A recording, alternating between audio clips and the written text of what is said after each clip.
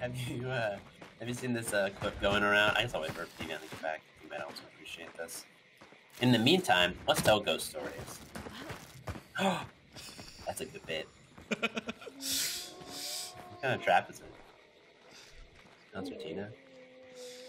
I to kill him if we put two. I think his headset might be wireless. I don't know. Shh.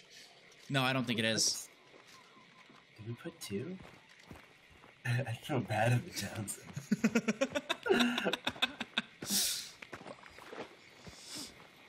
Uh-oh. oh!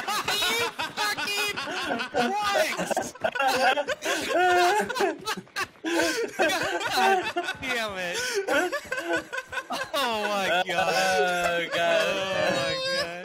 You fucking assholes.